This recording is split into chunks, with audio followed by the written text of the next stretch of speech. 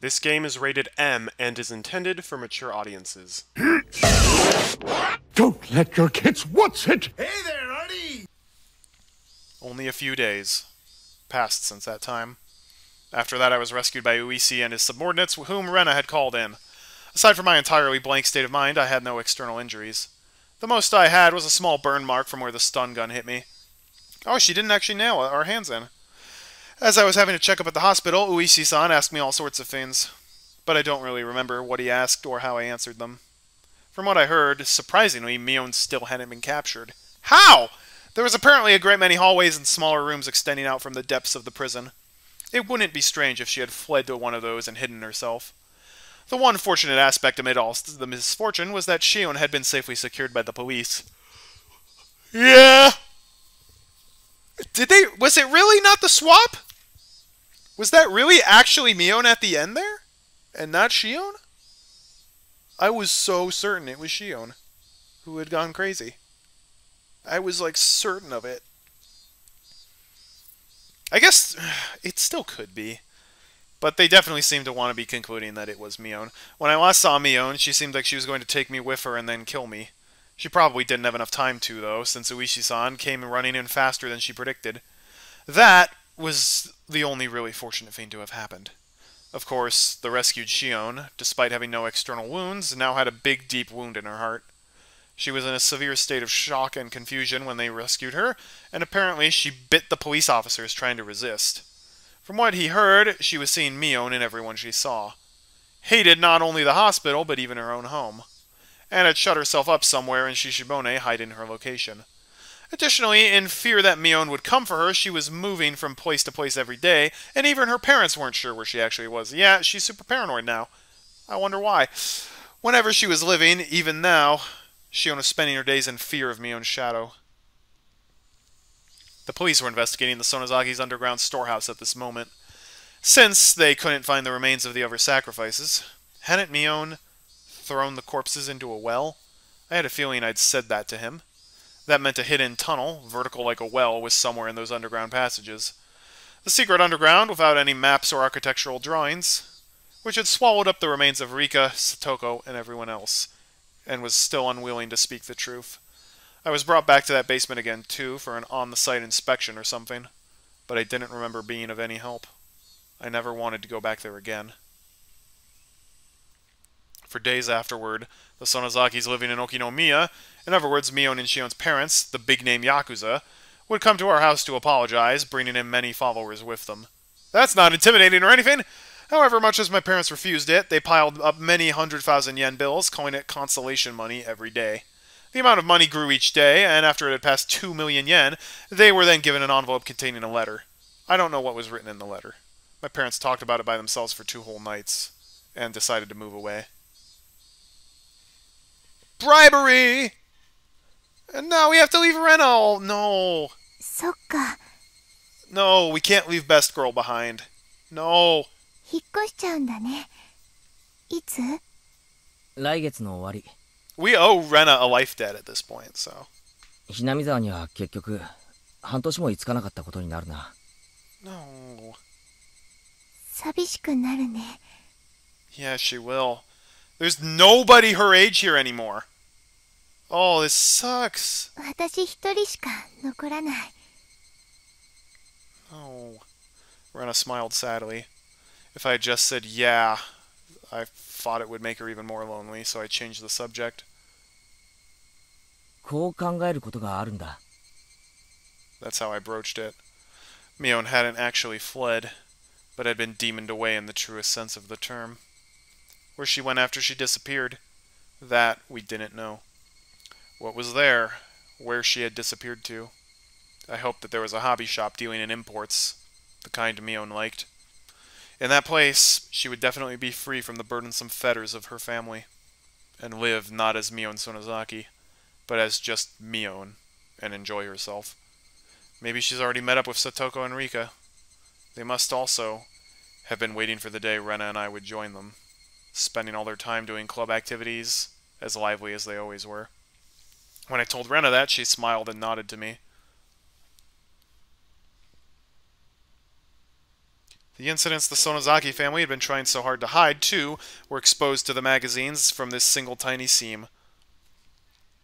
The serial incidents of recent years were all pulled up like a long vine in the ground, one by one, and for many days news of it was brought up on talk and variety shows. The shows, which were comedic and silly, never once tried to touch upon the grim, heavy history that Mion had been bearing. It made me mad to see them bringing this stuff up in jest. but there was nothing I could do about it now. How big an impression would these short few weeks I spent in Hinamizawa have on my life? During these few weeks, I met my best friends, and I had the best experiences of my life. I would probably never forget it as long as I lived. As for the distorted image of Miona the media created, after the masses got tired of treating her like a plaything, they would ball her up, throw her in the trash, and then she would fade from their memories. As somebody, as one of the few people who knew the real Mion, I must always make sure I remember her. Beyond any doubt, that will surely come become my offering to her. The sky reached so far up, and towering cumulonimbus clouds floated through it. The real summer was just before our eyes.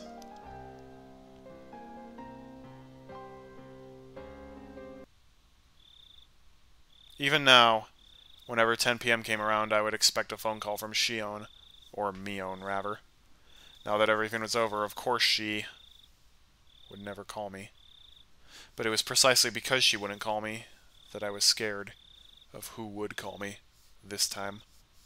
Plus, Mion still hadn't been caught. I couldn't say for sure that everything was completely over. On the other side of that fear, though, were my prayers that Mion was safe. Why? She literally is a horrible, psychopathic, evil person. When I thought like that, I was able to sleep, even with such terrifying thoughts. The lights were off. Before her attacking when the lights were off was something that scared me. However, that feeling changed to regret within two days. The moonlight filtering through the gap in the curtains shone onto the desk and illuminated a doll. That's right, the doll that I should have given to Mion that day. She said it was an import from England or something, and that it was all the rage, didn't she? From what Shion said, the most popular among them were the ones wearing the fluffy dress. After being released from the incident, the first place I went to was that toy store. Everything was apparently sold out besides the things on the storefront displays. I was refused once they said they wouldn't sell the display products, but when they realized I was a survivor A from that incident, they immediately consented. Of course, even if I bought it, I might never have the chance to give it to her again. Even knowing that, I waited for the opportunity to give it to her. I waited like this for the opportunity, with it on the desk so I could give it to her at any time.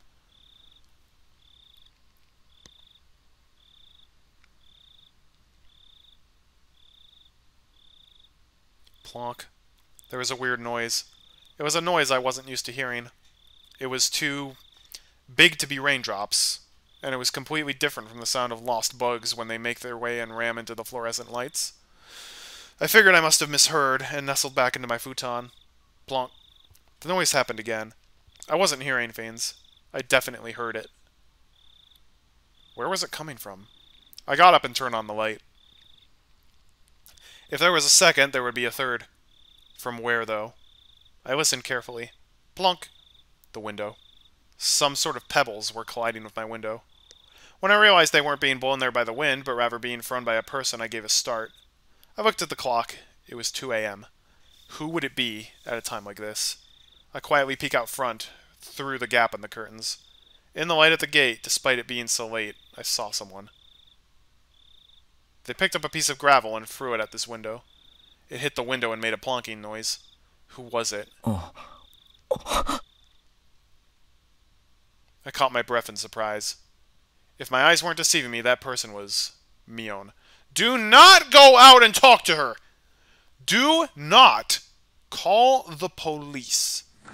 I threw open the window and looked at the figure again. My eyes certainly weren't deceiving me. It was Mion! It was Mion! She was alive! Mion pressed her index finger to her lips and made a shh motion so I wouldn't shout. If she hadn't, well, I was nearly about to cry out. Mion was in a very delicate position right now. Even if it was the middle of the night, I shouldn't call out her name. I waved to her, gesturing that I'd be right over, flung on my coat atop the pajamas, and flew out the door. Why? You are the stupidest human being I've ever encountered in a visual novel! This guy makes Michiru from Fruit of Grisaia look like a genius. And that's really saying something. Oh my gosh.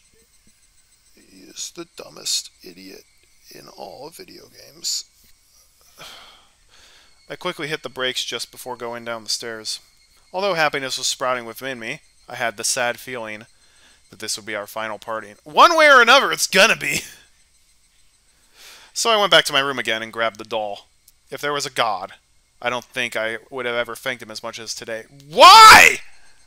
Even if it would be the last time we ever saw each other, I was so grateful for this one chance to hear her out. I slipped onto my sandals, unlocked the door, and unhooked the chain, and leaped out of the house straight into death. ミオお久しぶり どう元気にしてた It was like how we used to meet every morning. Mion waved to me and responded like she always did. Mion literally flat out told us if we survived, we should never ever see her again. She herself said that. Ah!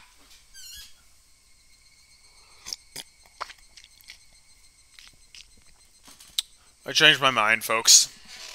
I said I can't remember if it was chapter two or chapter one where I said Keiichi was probably the most likable of the visual novel protagonists that I had played. Nope.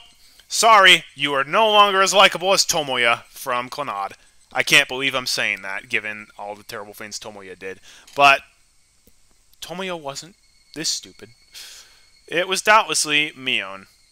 You're not even gonna tell your parent. Like, gosh, he, like I said, he's just the biggest stupid idiot in all of history.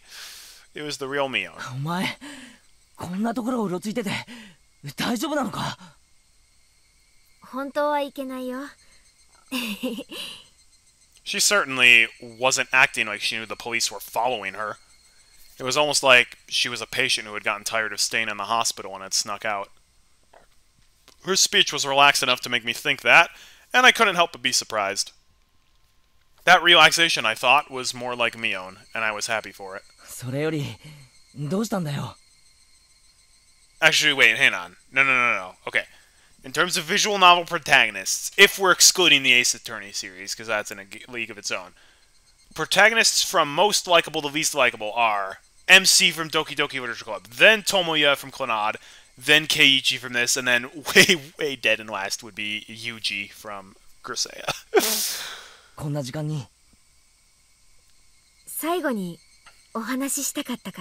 wanted to kill you. That was when I noticed them. On Mion's forehead were big droplets of sweat. Her expression, too, which I thought to be a satisfied smile, was upon closer inspection trembling slightly, and I realized that she was forcing it. 私ね もうここにはいられない A pained note was beginning to enter her words as well, as if just smiling was a feat for her. 大丈夫かどこか具合でも今日までがが頑張ってきたけど自分でもわかるのもうダメもう限界あ私のお迎えは Wait, is is this not the one who tortured us, but this was the one in the jail cell? Mion's smile crumbled and started to stiffen. Did she push herself this much to come all the way here for me?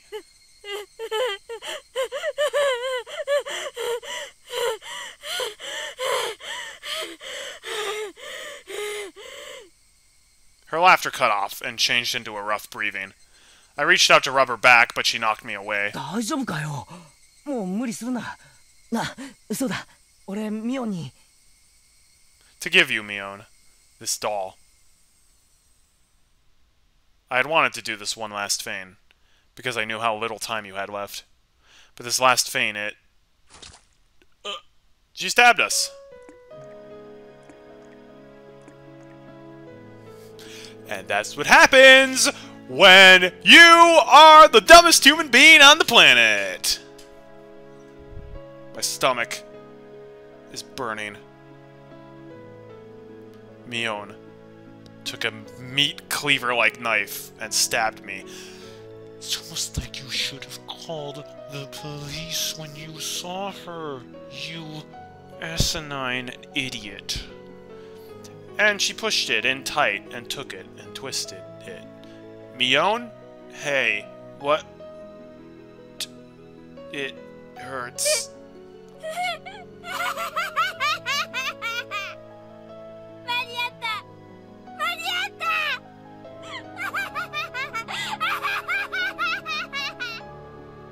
I cowered on the ground. My stomach was so hot, it was almost spewing fire.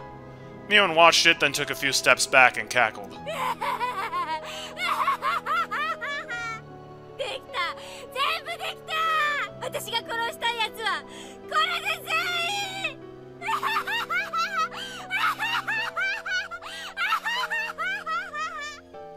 I'm not scared by this at all. I'm literally just annoyed at how stupid you, uh, Keiichi is. I almost said Yuji. That's not good. If I'm confusing you for Yuji, that's not reflecting good on your character. The last words Mion left me with that day came back to me. 今日を境にミオンが戻ってくることはもうない Mm, he is so stupid, it's painful. Oh, the body. By then, the demon will have taken it over. The demon. The demon. The demon. Oh, now she got reptile eyes. Oh, oh. Took you long enough. This can't. I thought we had finally been able to meet. Our Gumbo! You are. how many times do I have to tell him that he's the stupidest idiot who ever idioted?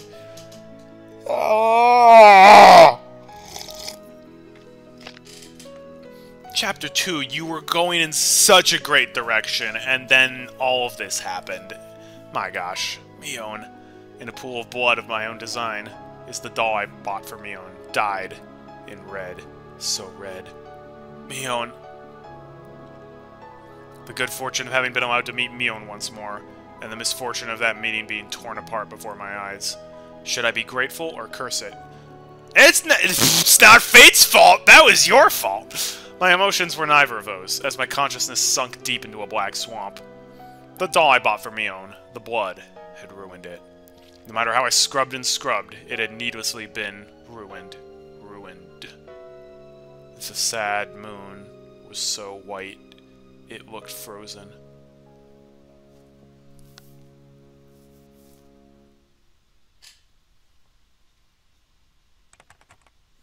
June 28th, 1983. A violent incident occurred in Hinamizawa Village, Shishibone City, Redacted Prefecture. The victim was Keiichi Maebara, also a victim of the previous strain of disappearances. At around 2 a.m., he was stabbed in the stomach with a bladed object by the suspect of the last case, Mion Sonozaki, and was gravely wounded. He was discovered when his parents woke up and then was transported to the clinic. He escaped death. Oh, he lived! The criminal fled the scene.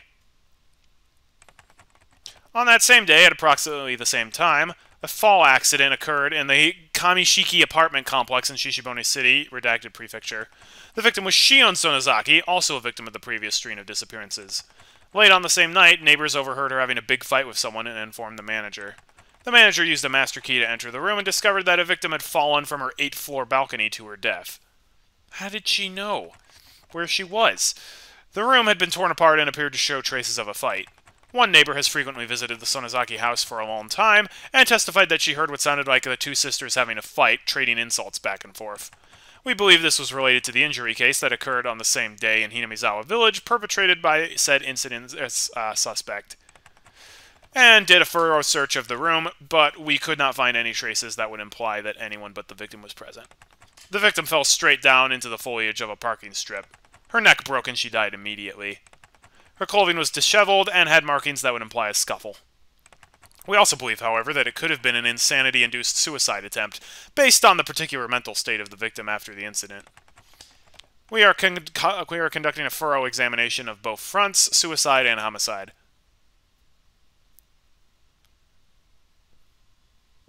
Is that really how it's going to end?